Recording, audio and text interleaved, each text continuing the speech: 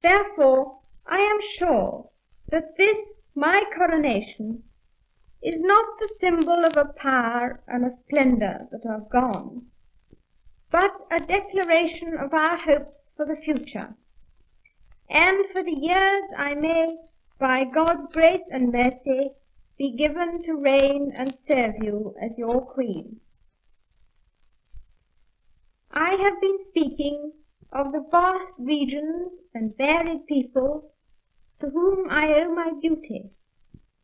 But there has also sprung from our island home a theme of social and political thought which constitutes our message to the world, and through the changing generations has found acceptance both within and far beyond my realms. Parliamentary institutions, with their free speech and respect for the rights of minorities, and the inspiration of a broad tolerance in thought and its expression, all this we conceive to be a precious part of our way of life and outlook.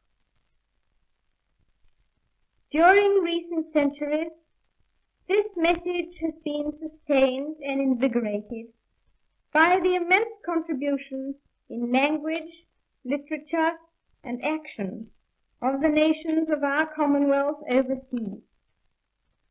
It gives expression, as I pray it always will, to living principles as sacred to the crown and monarchy as to its many parliaments and peoples. I ask you now to cherish them and practice them too. Then we can go forward together in peace, seeking justice and freedom for all men.